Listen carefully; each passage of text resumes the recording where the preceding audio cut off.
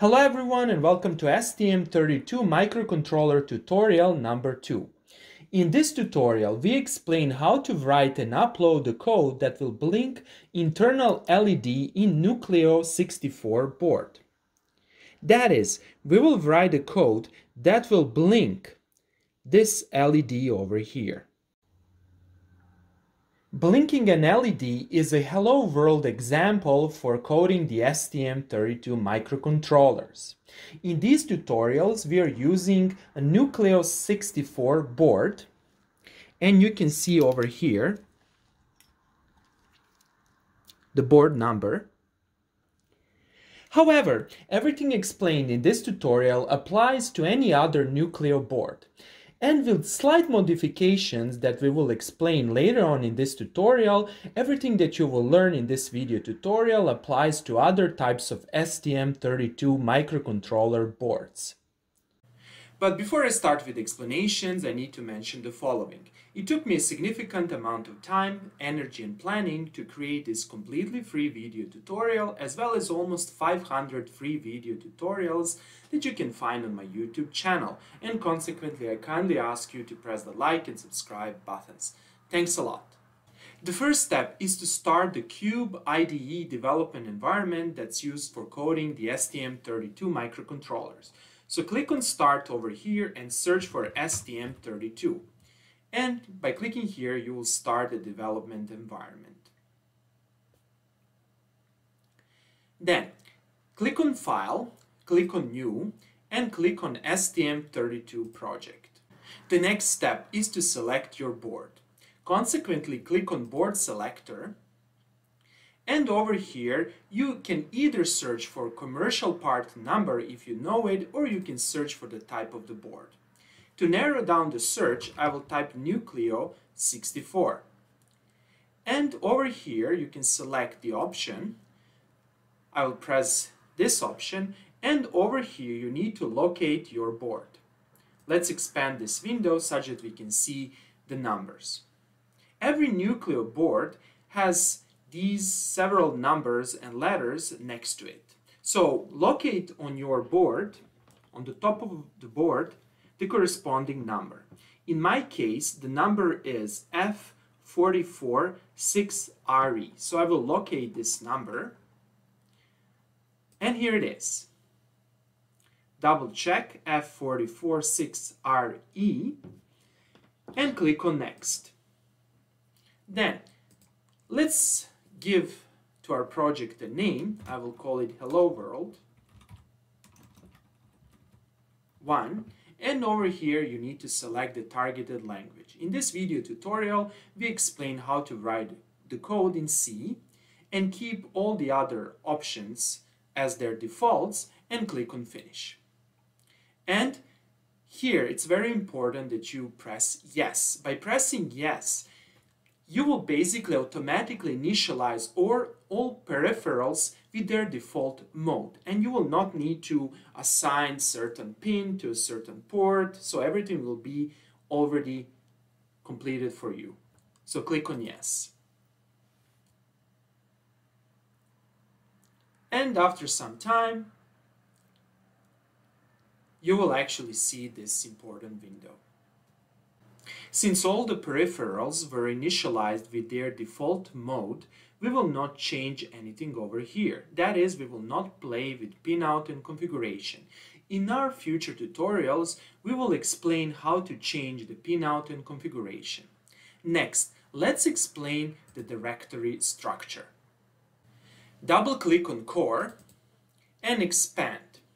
You will see this include folder and you will see main.h and you will see these two header files. Double click on the main. This is our main file. If you're familiar with C, this is the standard C main file. We will enter the code in this file later on in this video tutorial.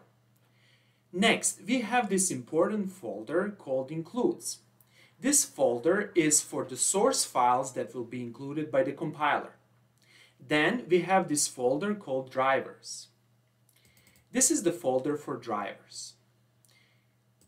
The folder core is the Eclipse folder that contains all the generated files, including, as I explained previously, our main file.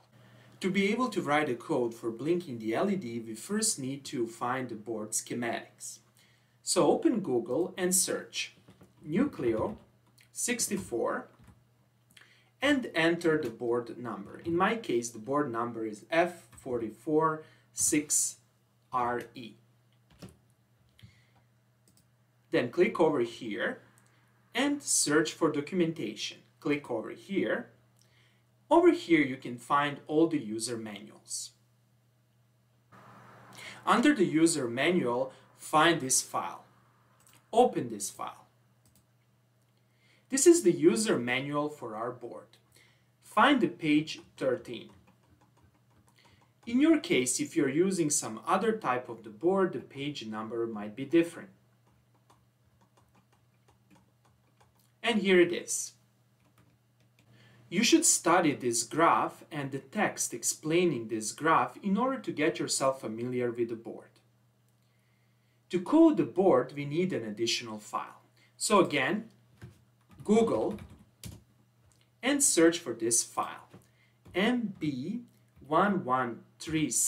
schematics. And you can click over here. This document is very important since it contains CAD drawing of all the connections. Scroll down to the page number 5 and zoom this part. This is a symbol for internal LED. This LED is denoted by LD2. Now, go back to the first file and look at the schematics. Try to locate this LED. It is located over here on your board. And you can see that it's a green LED. Now go back to the CAD schematics and try to understand the schematics. We can see that LD2 is actually connected to PA5. PA5 is actually a pin. Pins are grouped in ports. Ports are usually denoted by GPIO with a letter. In the general case, GPIO stands for General Purpose Input Output. When coding, you will often see variables and type definitions containing GPIOA or GPIOB. Here, GPIOA denotes the GPIOA port and GPIOB denotes the GPIOB port. Going back to the CAD schematics, you will notice that the pins are denoted by PA5, PA6, or PB3 or PB5. It's very important to properly understand this notation. PA5 means the following. This is the pin at the port GPIO-A with the number 5. Or we can say that PA5 is connected to the GPIO port A bit 5. Similarly, PB3 means that this pin is connected to the GPIO port B with the pin number 3. From this schematics, we can see that if we want to turn on this LED, we need to send high voltage to PA5 pin. Similarly, to turn off this LED, we need to send zero or low voltage to PA5. After understanding the board schematics, we are ready to write the code for blinking the LED. The first step is to locate our main.c file. To find the main.c file, you need to expand this core folder and you need to expand the source folder. Here it is. Double click on main.c. Click on yes. Here is our main file. Next, you need to locate the while loop. So scroll all the way down, and here you have int main, go down, go down, and here's our while loop. Over here, we will add our C code. Over here, I will add my code. Here it is. And let's explain this code line by line we use the HAL or HAL library to code the STM32 microcontrollers. To send a high or a low voltage to a specific pin, we use this function called HAL GPIO write pin. The first input argument of this function is the name of the port. In our case, it's GPIOA. Then the second input argument is the name of the pin. The pin name is GPIO pin 5. And over here, we are specifying that we are sending a high voltage. High voltage corresponds to binary 1. Let's summarize everything again. We want to send a high or a low voltage to this pin, PA5. This is because this pin is directly connected to our LED. PA5 actually stands for the pin connected to the GPIO A and the pin number is 5. Then here we will specify the port name GPIO A and the pin number. And finally we will specify the value of voltage, high or low. After that we delay our code for one second. We delay the code by specifying the delay time in milliseconds. Then over here we write 0 to our pin. And finally we delay our code for 1000 milliseconds. That is for one second. And that's it. And this while loop will repeat itself. Next, connect your board to the computer by using the USB port. However, before we can actually upload the code to our board, it's very important to upgrade and to upload the newest version of ST-Link firmware. To do that, click on Help and over here click on ST-Link Upgrade. Then click here on Open in Update mode and over here click on Upgrade and wait for the process to complete. Now you can safely close this window and let's build a project. Click on Project and click on Build Project. Okay.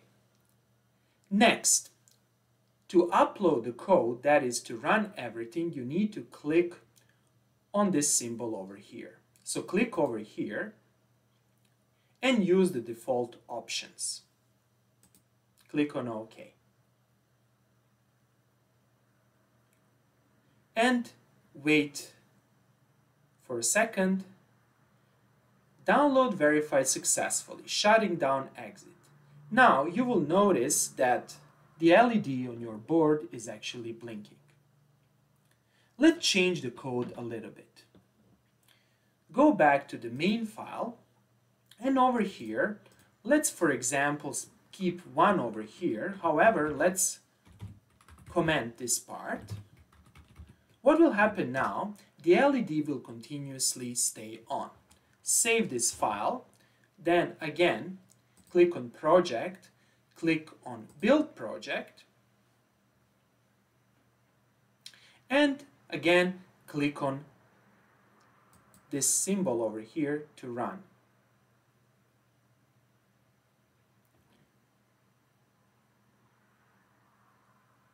And after some time, you will see that the code is downloaded to our board and the LED will be continuously on. Before I conclude this video tutorial, I would like to explain a few important things. First of all, let's analyze this name. Obviously, this is a type definition for something. So how to find the declaration of this name? Well, you can easily do that by do the right click and over here, you need to find the proper option. You can search and you can find this option open declaration. So let's open this one, click on yes, click on cancel. And here it is. Here is the definition. Another important file that you can analyze is the main.h file. So click on INC and open the main.h. This file contains these important definitions. These definitions are very interesting because of the following. Over here, you can see that instead of GPIO pin 5, we can simply type LD2 pin. So let's do that. I will copy this name over here and I will go to my while loop and I will simply paste over here. Okay, now you can see that instead of GPIO-A, we can actually type this, LD2 GPIO port. Okay, so let's run the code again. First project, build,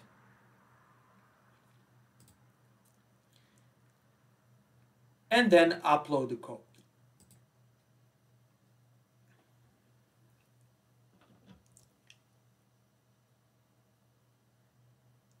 And you can see that LED is turned on. Okay, that will be all for today. I hope that you like this video. If you like the videos I'm creating, please press the like and subscribe buttons. Thanks a lot and have a nice day.